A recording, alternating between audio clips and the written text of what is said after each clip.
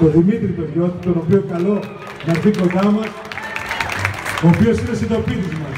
Θέλω να πω ότι είναι ένας πολύ αξιόλογος καλλιτέχνης που αγαπάει όλος ο κόσμος τον, τον Δημήτρη μας, αλλά ο Δημήτρης είναι ο συντοπίτης μας, είναι ένας αξιόλογος καλλιτέχνης, αλλά και ένας αξιόλογος άνθρωπος.